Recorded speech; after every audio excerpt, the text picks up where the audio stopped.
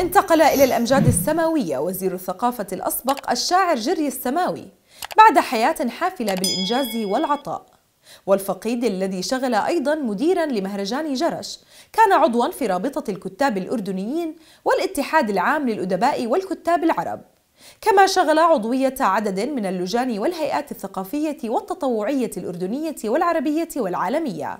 وله مجموعة شعرية ترجمت فيها قصائده إلى العديد من اللغات. كما كتب عددا من المسرحيات الغنائية. نطلب للفقيد الرحمة والعزاء لآل سماوي الكرام.